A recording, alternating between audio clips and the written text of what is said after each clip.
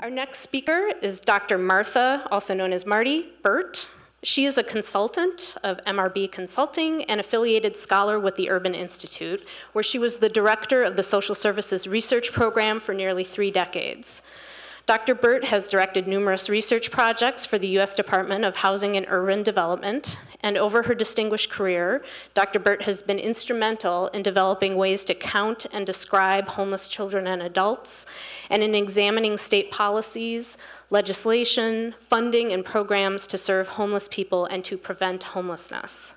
She is the author of three books and dozens of articles and reports on homelessness, and she has submitted testimony to or presented before congressional committees numerous times.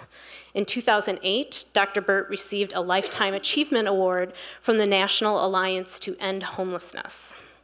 We are also very proud to share that Dr. Burt earned her PhD in sociology right here at the University of Wisconsin-Madison, where she began her lifelong work conducting research about programs to help vulnerable populations, including a study of people leaving Mendota Mental Health Institute at the time.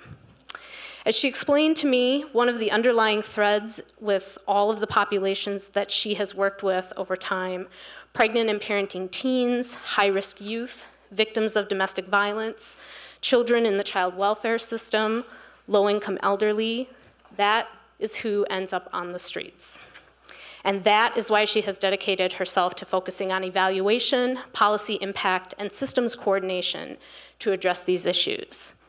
Her talk today is called Ending Homelessness, What the Research Says It Will Take. Please join me in welcoming Dr. Marty Burt.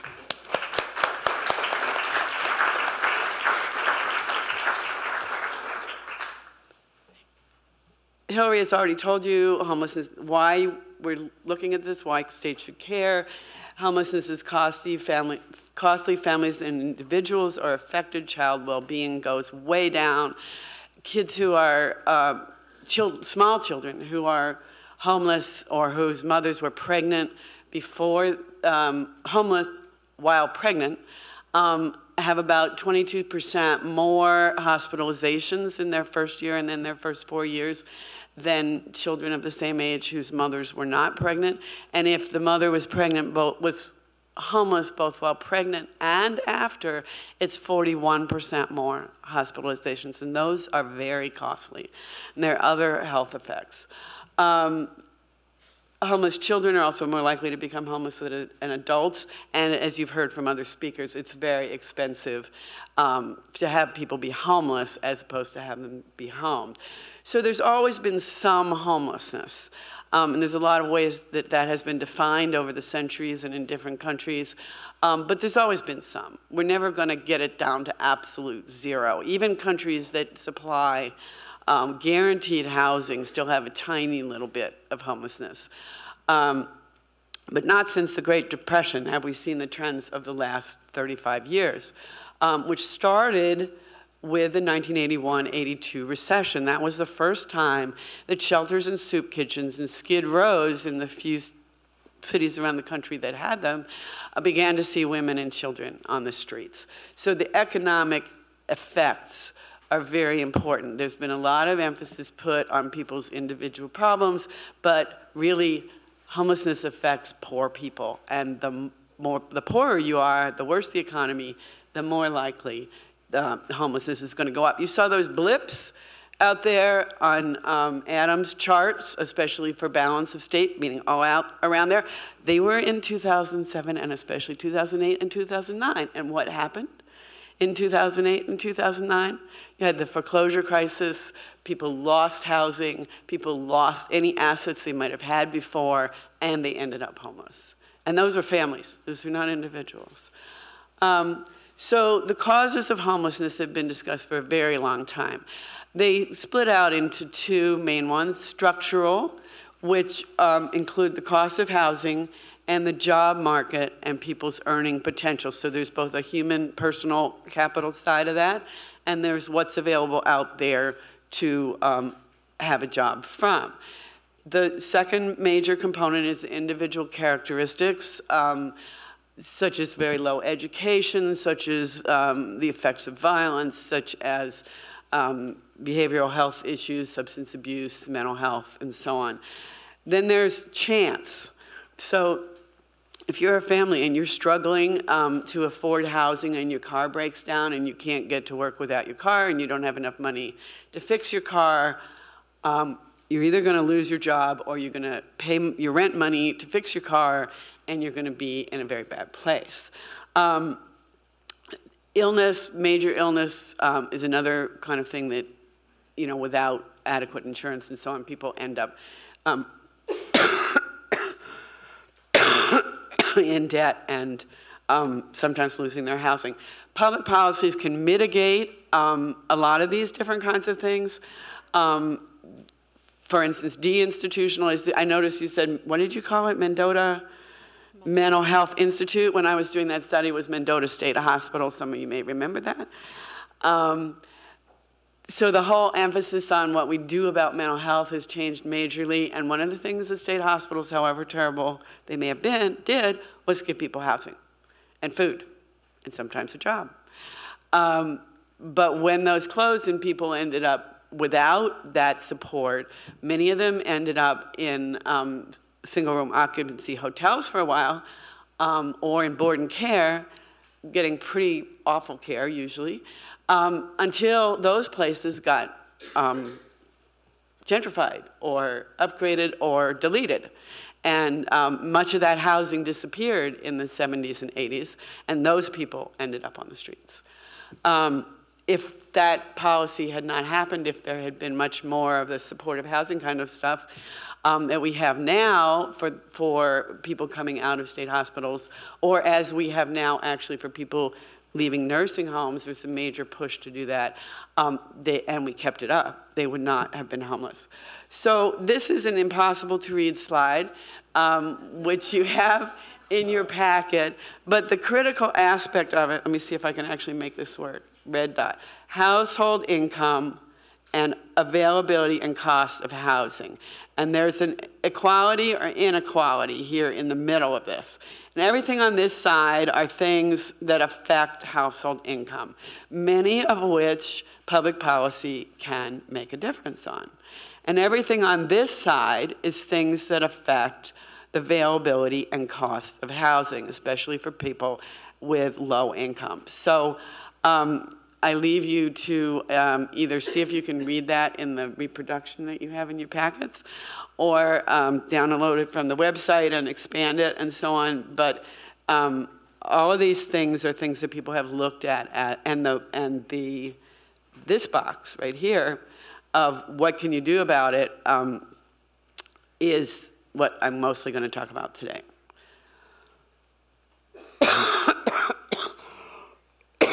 Excuse me. I have one open down there. See if Jill can grab that. Jill, Jill, can you get me that bottle of water that's open down there? Thanks. Thank you, thank you. Okay, so between 1960 and 2014, the cost of inflation-adjusted cost of rent or housing has gone up 64 percent increase in inflation-adjusted household incomes has gone up 18%.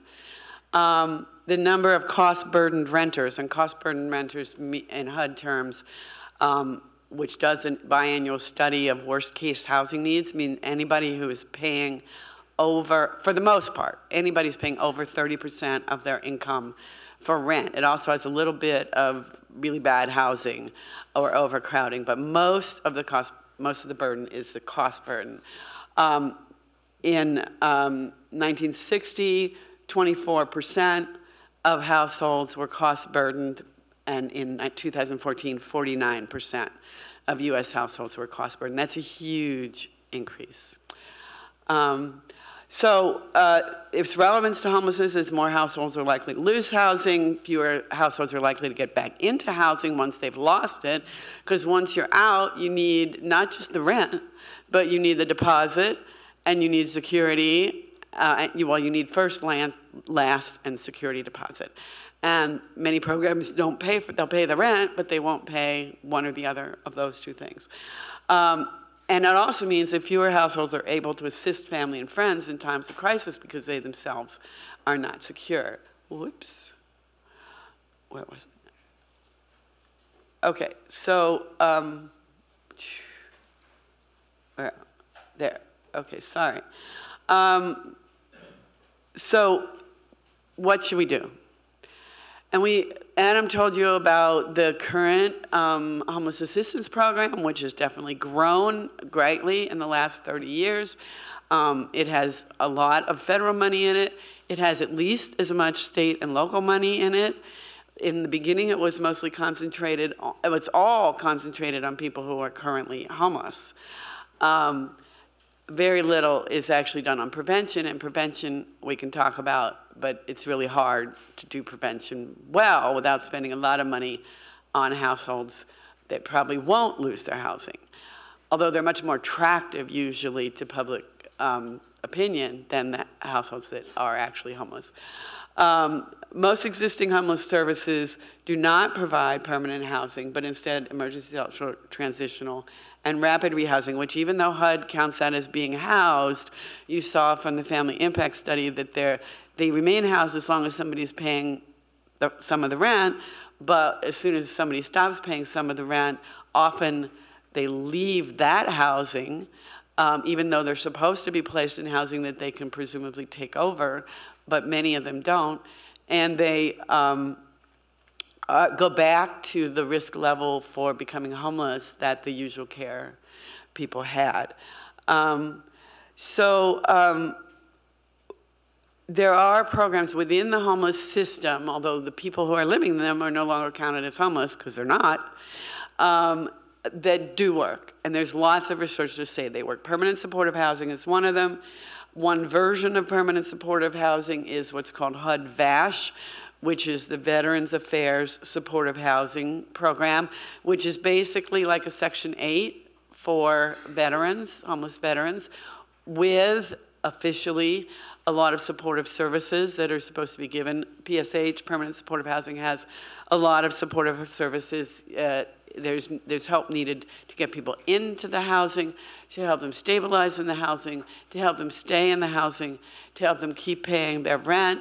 Um, the um, whoops, one category of permanent supportive housing is housing first, which is get them into the housing first, work on issues after that. But the housing is the same, has the same retention rules as any tenant. You pay your rent, you don't pull the microwave off the wall, and you don't fight with your neighbors, and you stay. You have a lease, you stay.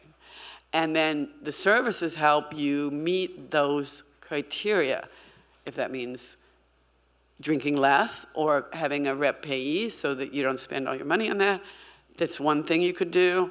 If it means taking your meds um, for mental illness, that's another thing you can do. But the basic issue is keep paying your rent and stay in this housing. And anything that helps with that is good. Okay. Um, I was asked to say something about youth, um, and this is it. Um, uh, most um, homeless youth, the ones we can count, actually, are the ones that go to runaway and homeless youth shelters. The vast majority of them have a home which it could be safe to go back to if, with enough negotiation and so on. Um, most of them do return home. The second category is those that do not have a home um, or do not home, have a home that is safe to go back to or have um, used to have a home and got kicked out of it. And this is the street population that we have such a hard time finding, but also the population um, that is in, by and large, the most trouble. Um, many of them are already chronically homeless. They have been on the streets for more than a year, and they have a lot of issues. Um, there are, what works for other chronically homeless people works for these kids, coming from a slightly different perspective, so that um, you, um, you have like child welfare agencies, um, public child welfare agencies, or private child support agencies um, partnering with um, the continuums of care and with homeless funding to create permanent supportive housing for youth aging out. Um, and while I say permanent, that just basically means more than the two years you're allowed in transitional, because the hope and the expectation is that these kids do not stay forever, but that they need more than two years to get stable. Um, okay, to really end homelessness, evidence-based strategies for increasing the ability of people to afford housing. So that's what we're talking about. Some ways to do that include rent subsidies, improving human capital, job skills, education, developing more jobs so the jobs are out there for people to be able to take, jobs that actually pay enough to afford that two bedroom apartment.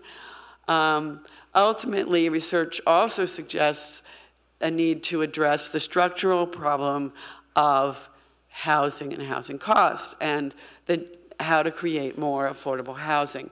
So um, that's what I'm going to talk to, about for the rest of this talk, is what can states do to create more affordable housing, and I mean physical units.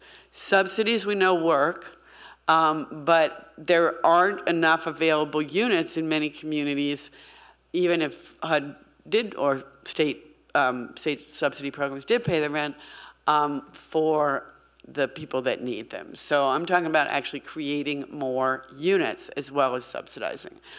Um, so since the early 1980s was 19, 1900s, sorry, 1900s, like 1910, 1915 was the last time that it was profitable without a subsidy for private developers to build housing that was explicitly aimed at poor people. Um, since then, you've had, you know, na neighborhood shifts. So poor people take over um, housing that was built for people who had more income. Harlem is the perfect example of that, and now it's going backward. Um, so it's gentrifying.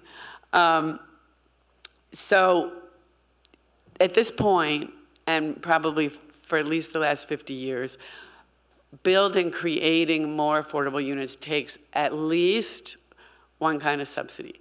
It either takes a rent subsidy or takes a, a construction development subsidy or it takes both.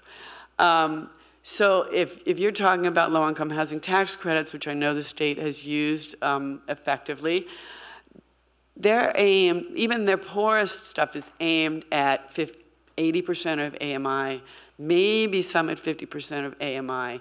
But we're talking about people, homeless families, that are at 15% of AMI. They can't afford those affordable units without a subsidy. So they would need both. Um, so just recognize that this is not an unusual or even a new circumstance um, that subsidizing either the creation or occupancy of housing units is really necessary if that 75% of people eligible for um, housing subsidies now don't get them or to get them. In other words, that we could meet this nation's what HUD calls the worst case housing needs. And the worst case is that they're paying more than 50% of almost no money to begin with for housing. Um, so what we're doing is we're using subsidies. They can do, include all kinds of things. They can include communities giving public land, leasing public land for 99 years, all kind, you know, acquiring public land, acquiring um, brown fields and getting, you know, unpoisoning them and using that, that land. There's all kinds of strategies going around. And subsidizing of the household once they're there. Um, so how can a state um, move towards stimulating enough housing that is where it's needed? In other words, where jobs are or where you can create jobs. Where transportation is or where you can create transportation, affordable to people earning below 50% of AMI with a significant chunk for those earning less than 30% and has predictable and reasonable production trajectory. It doesn't take decades. It doesn't um, entangle, it doesn't you know, take 20 jurisdictions to agree. It doesn't take 20 agencies to agree, et cetera. Um, so um, there are some, many states that are doing something and some states that are doing a lot.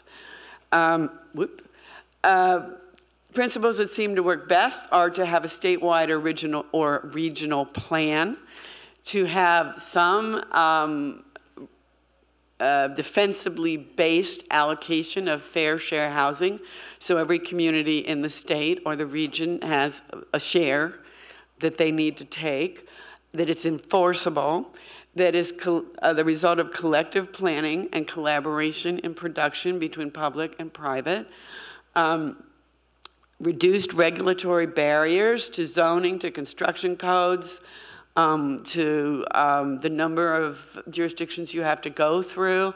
Some places have created um, special committees and commissions that have representation from regional entities that can fast track um, affordable housing developable that work on multiple goals simultaneously. So you do this with like economic development and housing, or child welfare and health and housing. So you have partners um, and you have um, other agencies and other um, constituencies that can support this. New Jersey is probably the best example of the first several of quite a few of these. It is it it has a um, statewide plan. It involves all jurisdictions. It's the fair share of each jurisdiction is established. It's enforceable. It's in law. There's a, a commission that oversees it. Um, it works. They've uh, helped over 60,000 families in the last 15 years um, get into housing that is near transportation, that is close to jobs, and other stuff like that across the whole state. Many jurisdictions have something called inclusionary zoning. Um, which would mean that any development that a private developer does is supposed to have a certain percentage of affordable units that the effectiveness of that, there's some research out there, and it's very mixed. It depends on, first of all, what the percentage is. If it's 5% of your units, it's going to make a lot less difference than if it's 30%. If it's targeted at 80% or 120% of AMI, it's going to make a lot less, diff more, less difference than if it's targeted at 50% or 30%. Um, and even with inclusionary zoning, um, so it depends on where it is, it depends on how it's enforced. Many of the communities with inclusionary zoning have a lot of wiggle room for developers, so it doesn't actually hit the people we're talking about. Subsidies are still needed, probably both for production and rent. Um, okay, so here are some things that, that this is coming from a National Governors Association report, um, but there's no reason why a legislature couldn't um, enact a, a requirement that some of these things be done, and then it becomes the responsibility of state agencies to do. Expedited permitting with increased proportion of the more affordable units you include, the faster you get through. Um, specialized building codes for redevelopment areas, um, which have in New Jersey have cut costs by 40%. In other communities, I've listed some of the states by between 10 and 40 percent. Um, so especially if you're doing old buildings, this means you don't have to bring them up to today's code. You have to make them safe, but you don't have to do absolutely everything that is in today's code. And usually that is coupled with um, economic redevelopment, school push, a lot of community involvement. Incentivizing housing development that follows transportation lines, partnering with overlapping interests, I've already mentioned some of those. Most states have looked, have, have looked at federal sources, but there are many state-funded programs, even locally ones. Um, okay, here are some that New Jersey uses.